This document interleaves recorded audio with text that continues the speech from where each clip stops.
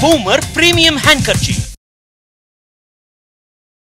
Girls trip family trip adventure trip honeymoon trip ஜிடியோட உங்க holiday super special தான் GT Holidays, South India's number one travel brand. You know you're special when you with GT holidays கனடாவில் குடியுரிமை பெறவும் student visa business visa பெறவும் நீங்கள் அணுக வேண்டிய இடம் கேன் நெக்ஸ்ட் உங்களுக்கான மிக சரியான விசாவை கண்டறிய கேன்நெக்ஸ்ட் டாட் சிஏ ஸ்லாஷ் கன்சல்டேஷனை தொடர்பு கொள்ளுங்கள். தமிழிலே பேசி சேவைகளை பெறலாம். கேன்நெக்ஸ்ட் கன்னடிய அரசால் அங்கீகரிக்கப்பட்ட ஒரு நிறுவனம். வாடிக்கையாளர்களுக்கு ஐஇஎல்டிஎஸ் கோச்சிங் முற்றிலும் இலவசம்.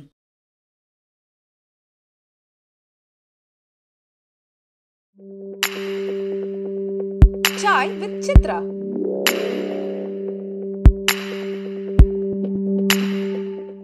இன்றைய சாய் சித்ரா நிகழ்ச்சியில் இடம்பெறுகின்ற விருந்தினர் இயக்குனரும் நடிகருமான சந்தான பாரதி. புதுமை இயக்குனர் ஸ்ரீதருடன் தன்னுடைய திரைப்பயணத்தை தொடங்கிய சந்தான பாரதி நடிகதளம் சிபாயி கணேசன் கமல்ஹாசன் சத்யராஜ் பிரபு என்று பல முன்னணி கதாநாயகர்களை இயக்கியிருந்தாலும் அவருடைய திரையுலக பயணத்திலே குறிப்பிடத்தக்க இரு படங்கள்னா அது குணாவும் மகாநதி இயக்குனராக பல வெற்றி படங்களை தந்துள்ள சந்தான பாரதி இன்றைக்கு நூற்றுக்கணக்கான படங்களிலே நடித்திருந்தாலும் அவருக்கு ஒரு புது அடையாளத்தை தந்திருக்கின்ற படம்னா அது விக்ரம் திரைப்படம். அந்த படத்திலே இவர் ஏற்றிருந்த ஏஜென்ட் உப்புலியப்பன் என்ற பாத்திரம் ரசிகர் மத்தியிலே மிகப்பெரிய வரவேற்பை இவருக்கு பெற்று தந்திருக்கிறது. சாய் வித் சித்ரா வணக்கம். வணக்கம்.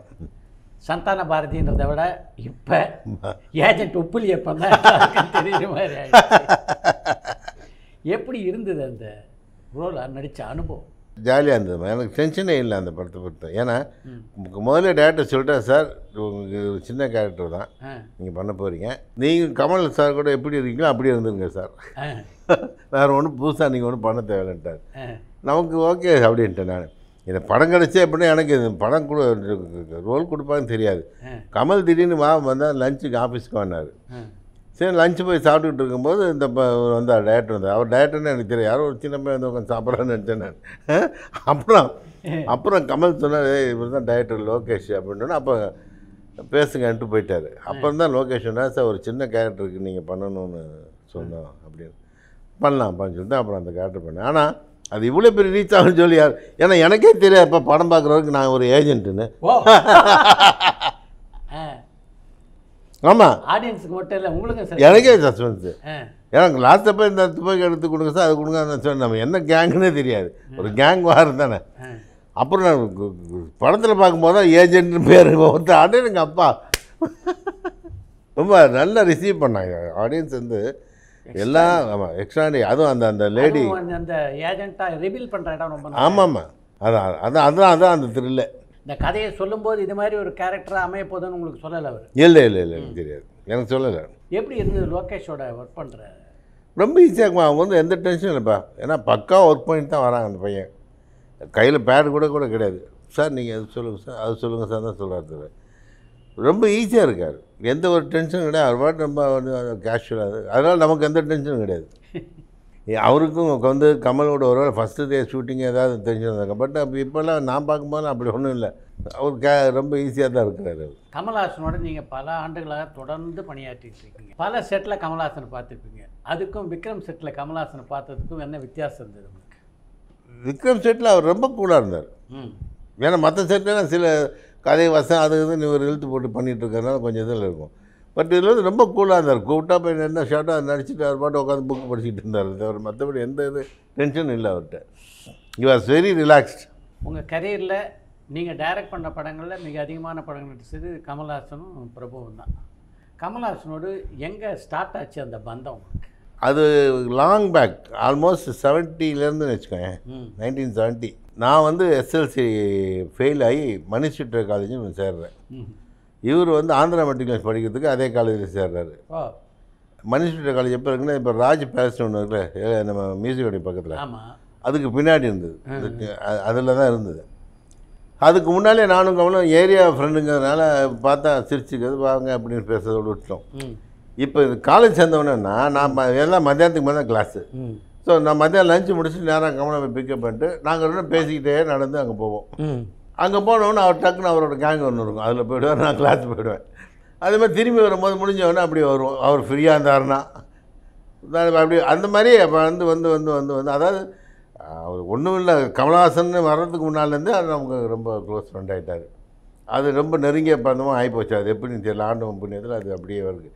அப்போ அந்த பீரியட்லேயே வந்து டான்ஸ் அரங்கேற்றம் அது இதுன்னு போவார். நிறைய டான்ஸ் போவார். ஒல்லியாக இருப்பார்.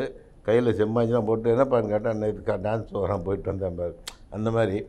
அதுக்கப்புறம் நானும் அவரும் அப்போ அவருக்கு எக்ஸசைஸ் பண்ணுற ரொம்ப அப்புறம் வந்து ஆர்வம் ஜாஸ்தி. ஸோ நீ வா நீ வான்னு சொல்லி என்னையும் கூப்பிடுவாரு. காலையில் போனால் அந்த ஊற வச்ச கொண்டக்கடலில் அதை கொடுத்து நாலு சாப்பிட்டுட்டு அங்கே இருக்க இப்போ வெயிட்ஸ் எல்லாம் எடுத்து தூக்குவார். நான் சும்மா கூட அப்படி இப்படின்ட்டு நானும் வந்துடுவேன். அப்புறம் ரெகுலர் அங்கே வந்து வேலையில் போது சாம்கோவில் மீட் பண்ணுவோம். ம் ஈவினிங்கில் வெளியே எங்கேயோ வந்துடுறது டீ சாப்பிடும்போது அது அப்படி மீட் பண்ணுவோம். அப்படியே போய் போய் போய் அவர் கொஞ்சம் கொஞ்சமாக அவர் டெவலப் ஆகி டெவலப் ஆகி போய் த தங்க தங்கப்ப மாஸ்டர் அசிஸ்டண்ட்டாக சேர்ந்து மலையாள படங்கள் நடிக்க ஆரம்பித்து அப்படியே வந்து கொஞ்சமாக ஹீரோ அவர் கொஞ்சம் ஹீரோ வர வர வர நான் வந்து இப்போ பியூசி முடிச்சுட்டு காலேஜ் சேர்ந்துட்டேன். ஸோ அந்த ஒரு ஃபோர் இயர்ஸ் கேப் நடுவில். ரெண்டு பேரும் சந்திச்சுக்கல. சந்திச்சுக்கிறேன் அதிகமா இல்ல. அதிகமாக இல்லை. எங்கேயா பார்த்தா எப்படிப்பா அப்படிங்கிறதோட சரி. அப்போ ஏன்னா அவர் ரொம்ப பிஸியாக இருந்ததுனால அப்படியே போயிட்டு இருந்தார். அப்புறம் நான் டிகிரி முடித்து ஸ்ரீதர் சார்ட்ட அசிஸ்டண்ட்டாக சேர்ந்த பிறகு தான் நான் அவர் மீட் பண்ணேன். இளமை விஞ்ஞானம் போது. ஓ ஷூட்டிங்கில் தான். ஆமாம் அது வரைக்கும் நான் அவரை மீட் பண்ணல. இளமை விஞ்ஞானி மீட் பண்ணும்போதுன்னா காலையில் நான் ஃபஸ்ட்டு டே ஷூட்டிங் வந்து அந்த ஒரே நாள் இதில் விஜிபியில் இவர் வந்துட்டார். எங்கள் டேரக்டர் முதல்ல கேட்டப்ப நீயும் கமல் ரொம்ப ஃப்ரெண்டாக ஆமாம் சார் ஃப்ரெண்டு தான் பட் இப்போ எப்படி தெரியல சார் நான் ஒரு ஹீரோவாக இருக்காருன்னு சொல்லிட்டு வந்தார் வந்து இறங்கினார். நான் அப்படி ஓரமாக நின்றுட்டே இருந்தேன். டேரக்டர் ஷார்ட் சொல்லி ஆரம்பிச்சிட்டான்ட்டேன். நான் பேசாமல் நின்றுட்டே இருந்தேன். ஏன்னா எனக்கு என்ன குழப்பம்னா இவருக்கு என்ன கமல்னு கூப்பிட்றதா வாடான்னு போகிறதா போடான்னு கூப்பிட்றதா சார்னு கூப்பிட்றதா? கரெக்டு ஏன்னா இப்போ ஒரு பெரிய ஹீரோ. நானும் அவர் பார்த்து நாலு வருஷத்துக்கு மேலே அவர் has become super man hero busy artist வேறு. என்ன எப்படி ரியாக்ட் பண்ணுவாங்கன்னு தெரியாது. ஏன்னா சினிமா நமக்கு ஒன்றுமே சொல்ல முடியாது. அப்படின்னு. அப்புறம் மத்தியானம் வரைக்கும் போயிட்டு இருந்துச்சு. இது நடுவில் ஏதாவது சாங்கு லிரிக்ஸ் சொல்கிறதுனா வாசு போய் சொல்லுவான். நான் ஓரமாக நின்று பா பார்த்துக்கிட்டே இருப்பேன். பிரேக் முடிஞ்சு கிளம்பும்போது டேய் நில்லு அப்படின்னு சத்தம் பார்த்தா இவர். அப்போ தான் கொஞ்சம் ரிலாக்ஸ் ஆச்சு. என்னடா நானும் காலையில் பார்த்துட்டு நீ மட்டும் எங்கே ஓரம் ஓரம் வந்துங்கிட்டு என்ன விஷயம்? ஏன்? என்ன ப்ராப்ளம்னு அப்புறம் தான் ரிலாக்ஸ் இல்லை இல்லைப்பா அதில் அப்படின்னு சொல்லிட்டு அப்புறம் அப்புறம் இருந்து அதுலேருந்து அப்படியே மறுபடியும் பழைய இதாகிடுச்சு அந்த காலகட்டத்தில் யார் யாரெல்லாம் அவங்க நெருக்கமான நட்பு வட்டத்தில் இருந்தாங்க கமலோட அப்போ? அப்போ வந்து சக்தி அண்ணன் ரெகுலர் இருப்பார். அப்புறம் வடிவேலுன்னு ஒருத்தர் இருப்பார் ப்ரொடியூசர் அவர். அப்புறம் ஸ்டண்ட் மாஸ்டர் கிருப்பானே இவங்கெல்லாம் அங்கே ரெகுலராக அந்த காம்பவுண்டில் இருப்பாங்க. அதே மாதிரி சேஷாதினி அவர் பிஏ செக்ரட்டரி ஆமாம் ஆமாம் ஆமாம் ஏன்னா அந்த சேஷாத்ரி கூட அவர் கிளா ஸ்கூல் மேட் தான். அது பொறச்சவாக்கத்தில் தான் ஸ்கூல் எம்சிடி எம்சிடி அதில் படித்து வந்தான் அவன் சேஷாத்ரி. ஸோ அவன் வந்து இதுக்கு பண்ணுவோம் அவனை செகண்டே வச்சுக்கிட்டார். பிரில்லியன்ட் சாப்பு ஐயோ டெலிஃபோன் டேட்டரே வேணாங்க அவன் தான் சேஷாத்ரி இருந்தால் அவ்வளோ நம்பர் படபடன்னு சொல்லுவான். ரொம்ப ஹார்ட் ஒர்க்கிங் சொல்லும் வாசுக்கு உங்களுக்குள்ள நட்பை பற்றி சொல்லுங்கள் வாசு நானும் ஆல்மோஸ்ட் பிரதர்ஸ் மாதிரி தான் பழகணும் எந்த ஒரு இதுவும் கிடையாது. ஏன்னா வாசு வந்து ரெண்டு முதல்ல பேரும் ஸ்ரீதத்தை சேர்ந்தது ஒரே காலகட்டமாக இல்லை இல்லை இல்லை. நான் வந்து முதல்ல சேர்ந்தேன். நான் வந்து ஓமஞ்சியில் போய் சேர்ந்தேன். ஓமஞ்சி சேர்ந்து நெக்ஸ்ட் படம் மீனவ நண்பன். ம். அதில் தான் அவர் வந்தார். அந்த மீனவ நண்பன் கூட ஒரு பெரிய கன்ஃபியூஷன் ம். ஏன்னா அப்போ அப்போ வந்து சிவாஜி விங்கு எம்ஜிஆர் விங்குன்னு சொல்லிடுவாங்க புரியுதுங்களா? எனக்கு என்ன பயம்னா நான் இந்த பக்கம் இருக்கேன்.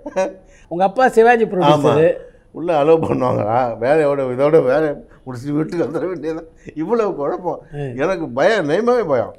சக்கிட்ட இப்போ சக்கரவர்த்தி தான் அசோசியேட்டு அவர் கூட இருந்தானே அவர் சொல்கிறது பயப்படாத ஒன்றும் நடக்காது நீ வாயா வாயான்னு. நான் அவர் பின்னாலேயே பயந்து பதுங்கி போனேன். போன உடனே ஃபஸ்ட் டே ஷூட்டிங் எங்கள் சத்யா ஸ்டுடியோ தான் செட்டு போட்டிருந்தாங்க. நான் ப எப்படி கொஞ்சம் உதறலே உள்ளே உதறல் இருந்துக்கிட்டே இருக்கு. இவன் இவனை எதுக்கு உள்ளே விட்டீங்க? வெளியே வந்து சொல்லிடுவாங்களோ என்ன? நான் போய் காஸ்டியூமில் போய் உட்காந்து இன்றைக்கி என்னென்ன சீன் வருது அவர் அதுக்கு என்னென்ன காஸ்டியூம் அவர் அவரோட காஸ்டியூம் தவிர மற்றவங்களோட காஸ்டியூம் நான் சொல்லிட்டு இருக்கும்போது ஒருத்தர் வந்தார். இங்கே யார்? சந்தான சன் அப்படின்னாரு. நல்லா இருக்குது வெடி வருது போல இருக்கு. நமக்குன்ட்டு நான் தாங்க சரி சரி அப்படின்னு போயிட்டார். என்ன கேட்டார் வச்சு போயிட்டார். பயம். அதை முடிச்சுட்டு இன்னொரு ஒரு டிபார்ட்மெண்ட்டில் தான் ஒன்று நான் பேசிகிட்டு இருக்கும்போது இன்னொருத்தர் வந்தார். இங்கே யார் பா பாரதின்னு ஒருத்தர் அவரோட அசிஸ்டண்ட்டு நான் தாங்க. ஆ அப்படியா? சரி சரி. அப்படின்ட்டு அவரும் போயிட்டார். எனக்கு ஒரே குழப்பம். என்னடா இது? நம்ம எல்லாம் இப்படி விசாரிச்சுட்டு இருக்காங்க என்ன? கடைசி நம்ம நினைக்கிறதா நடந்து போகிற போலுக்கு வேலை இன்னையோட காலி நமக்கு அப்படின்னு. அப்புறம் நான் இன்னொரு இடத்துல உட்காந்து சாப்பிட்டுட்டு இருக்கும்போது ஒருத்தர் வந்தார். வேஷ்டி கட்டிட்டு கண்ணாடி போட்டு கொஞ்சம் தான். இங்கே யார்? எம்மா சந்தானம் பையன். பாரதி யார் அப்படின்னாரு. நான் வந்து நான் தாங்க அப்படின்னேன். அப்படியா தம்பி? ரொம்ப சந்தோஷம். உங்கள் அப்பா கூட நாங்கள் ஒர்க் பண்ணியிருக்கோம். உங்களை பார்த்து ரொம்ப சந்தோஷம் இருக்குது வந்திருக்கேன்னு சொன்னாங்க. சரி பாட்டு பாடணும் தம்பின்னா அப்போ தான் கொஞ்சம் எனக்கு ரிலாக்ஸ் ஆச்சு. அப்பா நல்ல வேலை நமக்கு. அப்படி ஒன்று வாப்பு வரலன்னு அப்புறம் அது முடித்த பிறகு மாசோட அப்பா வந்து பீதாமரனுக்கு வந்தார். வந்து பாரதி யாருன்னு கேட்டார். நான் தான் கேட்டேன். இந்த பையன் என் பையன் வாசு இன்னிலேருந்து உங்க கூட ஒர்க் பண்ணுவார். அப்படி தான் சேர்த்து விட்டார். அப்படி அதில் இருந்து நானும் வாசும் ஒன்றா சேர்த்துப்போம் அப்போ என்ன நானும் வாசும் அதுலேருந்து இருக்கிறதுனால எங்கே போனாலும் ஒன்றா தான் சுற்றுவோம் சும்மா இருக்கும்போது நாங்களே கதை எழுதுவோம் பாட்டு பாடுவோம் எல்லாம் பண்ணிக்கிட்டு இப்போ மியூசிக் போடுவோம். அவுட்டோர்லலாம் போனால் ரூமில் ஒரே ரூமில் இருந்து தங்குவோம். ஸோ அந்த மாதிரி ரொம்ப அப்படியே க்ளோஸ் ஆகி ரொம்ப ஆல்மோஸ்ட் அவங்க ஃபேமிலி மெம்பர் மாதிரி ஆகிட்டேன் நான். எம்ஜிஆர் அந்த படப்பிடிப்புக்கு முன்னாடி சந்திச்சிருக்கீங்களா? அப்போ தான் இல்ல. பார்த்துருக்கேன் நான். அவர் எங்கள் வீட்டில் பார்த்துருக்கேன் எங்கள் அப்பா ஃபாதர் இறந்தப்போ வந்திருந்தார். அப்போ பார்த்ததானே தவிர மற்றபடி பழக்கம்லாம் கிடையாது. இப்போ இந்த செட்லையும் கூட நான் பெருசாக பழகலை. அவர் கூட இருந்தது தாங்க தவிர மற்றபடி அவர்கிட்ட போய் நான் பேசி கீசி ஒன்றும் பண்ணல நான். மீனவன் அண்ணன் படப்பிடிப்புலேயும் பழக முடியல இல்லை. ஏன்னா அவர் அவங்க குரூப் எப்பயுமே வந்தாருங்க உட்காருவாங்க அவங்க சீட்டு விளையாண்டுட்டு இருப்பா அது மாதிரி நான் அதுக்கு மேலே நம்ம பேச முடியாது. இப்போ மற்ற இப்போ இருக்க மாதிரி இப்போ எல்லோரும் எல்லாம் இருக்குது இப்போ அந்த மாதிரி அப்போ அவர்கிட்ட இருக்க முடியாது. ஏன்னா அவர் எப்பயுமே அவருக்கு தனியாக ஒரு இது வச்சுருப்பாங்க அந்த மாதிரி. ஒரே ஒரு தடவை என்ன பண்ணார் அந்த மீனவன் செட்டில் நான் அசிஸ்டண்ட்டாக இருக்கும்போது நாங்கள் தான் வந்து பொசிஷன் கொடுப்போம் ஆர்டிஸ்ட்டுக்கு ம். டேரக்டர் சொல்லிட்டு போன பிறகு லைட்டிங் பண்ணுறதுக்கு நாங்கள் தான் பொசிஷன் கொடுப்போம். நான் ஒரு ஒரு சீன் போது நான் பொசிஷன் கொடுத்துக்கிட்டு இருக்கேன். இருந்தால் இவர் பாலகிருஷ்ணன் மேலே கேமராமேன் லோ சீலிங்கு எரிக்கிறார் போட்டு அப்படியே. எரிக்கிறான்னு அப்படியே எரிக்கிறார். ஐயோ என்னால் முடியல அப்படின்ட்டு நான் என்ன பண்ணேன் ரெண்டு இதுக்கு மார்க் கொடுத்துட்டு சா போகிறேன் சார்னோன்னு அவர் கை பிடிச்சிக்கிச்சு. "ஏய், நில்லு அப்படின்னு பார்த்தா இவர். எம்ஜிஆர். ஆ. நாங்களாம் நிற்கிறோம்ல நீ நில்லு. அப்படின்ட்டாரு. இல்லைங்க அப்படின்ட்டு நின்றுட்டேன் அப்போ எங்கள் டேரக்டர் வந்தா என்ன என்னாச்சு என்ன ஒன்றும் இல்லை. அப்படின்னு டேரக்டர் சொன்னார். இல்லை சார் இவர் நம்ம எம்எஸ் சந்தான பையன். அப்படின்னு அப்போ தான் இன்ட்ரடியூஸ் பண்ணி விட்டார் என்னை. ஓ அப்படியா? வீட்டில் எல்லாம் நல்லா இருக்காங்களா? அதான் அதோட சரி. அந்த பேச்சோடு சரி அவர் கூட அவ்வளோதான் அதுக்கப்புறம் ஒரு அண்ணா நீ என்ன ஒன்று ஷூட்டிங் போது மறுபடியும் ஒரு தடவை அவர்கிட்ட பேசினேன். ரெண்டு தடவை தான் பேசியிருக்கேன் அந்த ரெண்டு படங்கள்லையும். அது என்ன ஆச்சுன்னா அண்ணா நேந்திரத்தில் ஒரு சாங் ஷூட் பண்ணோம். அந்த இப்போ கதையில் என்னென்னா அந்த தம்பி தங்கச்சி ஒருத்தன் கெடுத்துட்டான். அவர் குழந்தை வரும்போது அவனை போய் கண்டுபிடிச்சிட்டு வரேன்ட்டு அவர் போவார். போய் லதா மேடத்து கூட சேர்ந்துக்கிட்டு சாங்கெல்லாம் பாடி கிடிக்கிட்டு திரும்பி வந்தபோது வந்து கூப்பிட்டு வருவார் வருவார். இவங்க போகும்போது ஒரு ட்ரெஸ் போட்டு போனார். சாங்குங்கெலாம் அந்த சா ட்ரெஸ் போட்டாச்சு. திரும்பி வீட்டுக்கு போகும்போது ட்ரெஸ்ஸை மாற்றிட்டார் நான் வந்து நம்ம கஸ்டண்டர்கிட்ட புத்தி போமா கண்டினியூட்டி காசு விட்டானே எதனா இந்த சட்டையை மாட்டிட்டோம் அந்த சட்டை தான் கண்டினியூட்டிங்க தம்பி அதெல்லாம் இல்லை விடுங்க அவர் இதுதான் போட போகிறேன்ட்டார் என்னங்க அது வந்து ஆர்கியூ பண்ணிட்டு அவர் வந்துட்டார். என்ன? அப்படின்னார். இல்லை சார் இது கண்டினியூட்டி நீங்கள் இதுலேருந்து இதுலேருந்து இந்த சீன் இது வரைக்கும் வரும். அதனால் அந்த ட்ரெஸ் தான் போகணும் இல்லை தம்பி இது நல்லா இதை போட்டுக்கிறேன்ட்டார். அவங்கள எங்கள் டேரக்டர் என்ன? அப்படின்னாரு. இல்லை சார் அந்த மாதிரி. பரவாயில்ல விடு விடு. ஏன்னா அவர் வந்து அந்த அந்த திருச்சியில் அந்த ட்ரெஸ் போட்டோமே. அவரோட மென்டாலிட்டி அது. நமக்கு அது தெரியாத? ஓ கண்டினியூட்டி கண்டினியூட்டி நம்ம நாளைக்கு நம்மளுக்கு டேரக்டர் நம்மளே திட்டுவார்? என்னடா பார்த்தேன் அப்படின்னு நம்ம அந்த அந்த அந்த ரெண்டு தடவை தான் பேசியிருக்கேன் அவர்கிட்ட. நான் அசிஸ்டன்ட் டேரக்டர் சேர்த்துக்கு முன்னாடி டிகிரி முடித்த பிறகு அசிஸ்டன்ட் டேரக்டர் சேரணும்னு தோணுனது வந்து எங்கள் குரூப்பில் அந்த பசங்களை பார்த்தேன். ஏன்னா அண்ணாதுரை கண்ணாசன் அசிஸ்டன்ட் டேரக்டராக இருந்தான். தேவராஜ் மோகன்ட்ட எஸ்வி சாப்பிட்டேன். கூட வந்து ஜூனியர் பாலியா. இந்த விஜய் நம்ம சந்திரகாந்த் அம்மா தம்பி விஜயகுமார் இப்போ. பெரிய டப்பிங் ஆர்டிஸ்ட் ஆமாம். ஆமாம் இவங்க எல்லாம் தான் அப்போ நாங்கள் கேங்காக சுற்றிட்டு இருப்போம். அதில் எல்லாமே சினிமா ச சம்மந்தப்பட்ட ஆளுங்க தான் என் கூட இருந்தது போகிறேன் அன்பு பொய்யாமொழியோட கல்யாணம் திருச்சியில். அதுக்கு நாங்கள் போகிறோம். அன்பு பையன் நமக்கு ரொம்ப க்ளோஸ் ஃப்ரெண்டு நம்ம திருச்சிக்கு போகும்போது அன்றைக்கி நீ நைட்டு வந்து படம் பார்க்கலாம்னு சொல்லி அன்றைக்கி அபூர்வங்கள் ரிலீஸு அப்புறம் பால்சந்த படங்கள்லாம் ரொம்ப விருப்பப்பட்டு பார்ப்போம். ஏன்னா அப்போ ஒரு வித்தியாசமான நவீனமான கதையெல்லாம் கொடுப்பாரு. நல்லாயிருக்கும் சொல்லி. அந்த அபூர்வங்கள் பார்க்கும்போது தான் எனக்கு ஏன் நானும் அசிஸ்டன்ட் டேரக்டர் கூட தோணுச்சு. ஓ. ஏன்னா நம்ம செட்டு பேர் இருக்காங்க. கமலும் பெரிய ஹீரோ ஆகிட்டார் ஏன் நம்மளும் சினிமா ட்ரை பண்ணக்கூடாது? ஏன்னா அது வரைக்கும் எனக்கு சினிமா ட்ரை பண்ண ஆசையே இல்லை. இல்லை. எந்த இதுவுமே இல்லை. அதுக்கப்புறம் நேராக வீட்டுக்கு வந்து இங்கே கவிஞர்கிட்ட வந்து நான் வந்து அசிஸ்டண்ட்டாக சேரணும் அப்படின்னேன்.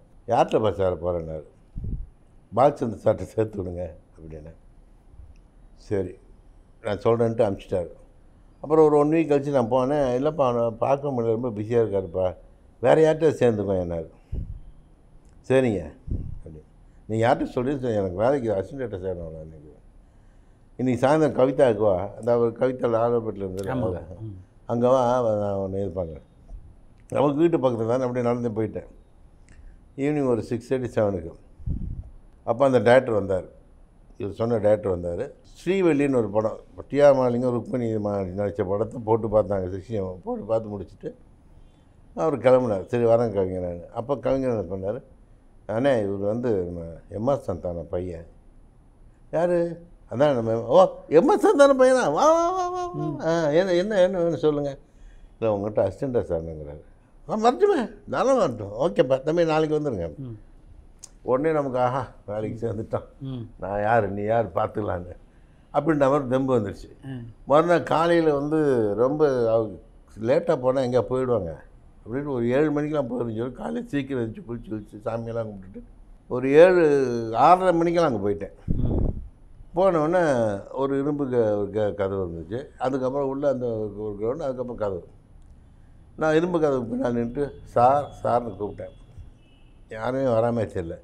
சரி கதவை திறந்துட்டு உள்ளே போயிட்டு பக்கத்து அந்த கதவுக்கிட்ட போயிட்டு சார் சார் கொஞ்சம் பலமாக கூப்பிட்டேன். அந்த டேரக்டர் வந்தார். வந்துட்டு என்ன பண்ணார் அங்கே கதவுக்கு அந்த பேப்பர் இருந்திருக்கு அந்த பேப்பர் எடுத்து வச்சுக்கிட்டு திரும்பிட்டார். என்னடா நம்ம நின்றுட்டுருக்கோம் அவர் வாட்டி திரும்பி போகிறாரு சார் அப்படின்னேன் திரும்பினார். என்ன ஃபுல்லாக கூட திரும்பல. யாருப்பா நீ? அப்படின்னா யாருப்பா அவ? நேற்று நைட் தான். கேட்டேன்.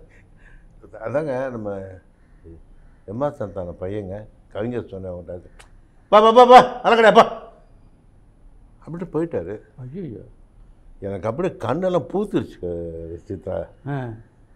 அதே அப்படியே எனக்கு என்ன பண்ணுறதுனே தெரியல. ஏன்னா நான் வந்து எங்கள் அப்பாவை அவமானப்படுத்திட்டேன்னு நினச்சேன் நான். கரெக்ட் ம். எனக்கு அவமானம் கிடையாது. நான் யாருமே கிடையாது. அந்த நேரத்தில் ஜீரோ அப்பா பேரை சொல்லி நம்ம போன்னு சொல்லிட்டாங்க. என்ன அசிங்கமாக போச்சுன்னு சொல்லிட்டு எனக்கு அப்படியே சோக்காது கிருஷ்ணன் பஞ்சு பஞ்சு சார். கொஞ்சம் சாரா? ஆ. பஞ்சு சார். இல்லை முதல் நாள் நைட்டு நான் அவர் கட்டி அழைச்சதை பார்த்தோன்னே அப்படியே வீட்டுக்கு கூட்டு போய்டுற அளவுக்கு. காலையே லேட்டு நைட்டே போயிடலாம்னு நினச்சி அவ்வளோ நம்பிக்கையோட போயிருக்கேன். எனக்கு ஷாக் ஆனது வந்து அவ்வளோ நம்பிக்கையோட போயிருக்கேன் பட் அப்பா பேரை சொல்லி இல்லைன்னா அப்போ அப்படின்னு எனக்கு அந்த தாட் வந்துருச்சு. அவரோட போயிட்டார். சரி அப்படியே திரும்பி மறுபடியும் கவிஞர் வீட்டுக்கு போனேன். அவர் தூங்கிட்டேன் தூங்கி வந்துச்சு வந்தார். என்னப்பா என்ன ஆச்சுனாரு அழுதுட்டேன் ஏ என்னன்னாரு? இந்த மாதிரி ஆச்சுங்க. இந்த சினிமாக்கார பசங்களை நம்பக்கூடாது. அப்புறம் அவர் டயலாக் சரி நான் வேறு யார் இருந்தால் சொல்கிறேன் நீ போன்னு அனுப்பிச்சிட்டார் அதுக்கப்புறம் ஒரு வாரம் கழித்து அவரை கூப்பிட்டு ஸ்ரீதர்கிட்ட போய் சேர்ந்துக்கோன்னு சொல்லி ஸ்ரீதர்கிட்ட சேர்ந்து கூட என்ன சொன்னார்? அன்றைக்கி அவரை போய் பார்த்தது செவ்வாய்க்கிழமை க கவிஞரை பார்த்தது. சரி இப்போ போய் பார்க்கணுமாண்ணா இல்லை வேணாம் வேணாம் மூணு நாலரை ராகாலம் ராகாலம் முடிஞ்சு போனார் அவர் மதியானம். இப்போ இன்னும் வந்து எனக்கு செவ்வாய்க்கிழமை மூணு நாலு ராகாலம் ஸ்டாம்ப் ஆயிடுச்சு அதுக்கப்புறம் நம்ம நாலரை மணிக்கு மேலே கூட இவனை கூப்பிட்டுக்கிட்டான் அண்ணாதுரை நீ வாடா கூட. ஏன்னா பழைய எக்ஸ்பீரியன்ஸ் ஆகிடக்கூடாது சரி நானும் அண்ணாதுரையும் போகிறோம் அப்போ சித்ராலி ஆஃபீஸ் வந்து இப்போ இந்த வாணிமாலுக்கு ஆப்போசிட்டில் இருந்துச்சு. அங்கே போனோடனே நாங்கள் உள்ளே போகிறோம் டேரக்டர் கார் எடுத்து வெளியே போயிட்டார். என்னடா? வேலை போயிட்டாருன்ட்டு சரி போ- போ உள்ளே போய் உட்காரோன்னு வெயிட் பண்ணோம். வெயிட் பண்ணிகிட்டு இருக்கேன் வெயிட் பண்ணிகிட்டு இருக்கோம் டேரக்டர் வந்தார் அவர் உள்ள வெளியே போனவர் வந்துட்டார் உள்ளே போயிட்டார்.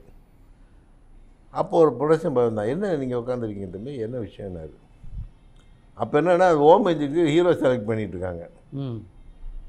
நாங்கள் அதுக்கு தான் வந்திருக்கோம்னு நினச்சிட்டாங்க. ஓ நடிக்கிறதுக்கு. ஆமாம் நடிக்க வந்திருக்கோம்னு. அப்போ நான் சொன்னேன் இல்லைங்க இந்த மாதிரி கவிஞர் அமைச்சார் டைரக்டர் பார்க்கணும் வேலைக்கு. அப்படியா தம்பின்ட்டு அப்புறம் உள்ள ப்ரொடக்ஷன் மேனேஜர் சண்முகத்துக்கிட்ட சொல்லி டேரக்டர் பர்சனை வர சொல்லினார். போனோம். ரெண்டு பேரும் போனவொடனே இதில் யார்? ரெண்டு பேருமே அசிஸ்டண்ட்டாங்க இல்லை யார்? அப்படின்னா சந்தான பையன் யார்? நான் தாங்க. இவர்? அவர் கவிஞரோட பையங்க. ஓ அப்படி ஆச்சு ரெண்டு பேரும் சேர போகிறீங்களா இல்லை சார் நான் தான் அவர் ஆல்ரெடி ஒர்க் பண்ணிகிட்ருக்கார் சார். தேவராஜ் மகன்ட்டார் நான் இப்போ சரி சரி ஓகே அப்படின்ட்டு எனக்கு வெளியே வெயிட் பண்ணுங்கன்ட்டார். சார் அனுப்பிச்சுட்டு அப்புறம் மறுபடியும் என்னை மட்டும் தனியாக வர சொன்னார். போனேன். ரஜினியோட பல படங்களில் நீங்கள் பணியாற்றியிருக்கீங்க. அப்போ கமலுக்கு உங்களுக்குள்ள நட்பை பற்றி ரஜினிகாந்த் உங்களை கேட்டதுண்டா? கேட்பாரு. அது என்ன நான் வந்து இல்லை சார் அப்படி சார் ஃப்ரெண்ட்ஸை விட்டு கொடுக்காம பேசுகிறீங்களே எதுவுமே சொல்ல மாட்டீங்களே. அரசியலுக்கு வர நான் முடிவெடுத்திருக்கிறது சரியான்னு ரஜினிகாந்த் உங்களை கேட்டான்னு சொன்னீங்க. அது மாதிரி கமல்ஹாசன் உங்களை கேட்டிருக்காரா? நான் பேசவே மாட்டேன் அதை பற்றி நான் நானும் பேசுனேன் அவரும் பேசுனேன் நீங்கள் இயக்கிய திரைப்படங்களில் குணா மகாநதி ரெண்டுமே மிக முக்கியமான படங்கள் இல்லையா? கமலுக்கு தான் நன்றி சொல்லணும். ஏன்னா நான் குணா வந்து எனக்கு கிடைக்கும்னு நினைக்கிறேன் ஏன்னா குணா வந்து வேற ஒரு டேரக்டர் தான் முதல்ல வந்தார். பரபரப்பான சினிமா செய்திகள் நட்சத்திரங்களின் பேட்டிகள் சினிமா வரலாறு ஆகியவற்றை பார்க்கவும் படிக்கவும் உங்களுக்கான இணையதளம் tour and talkies dot co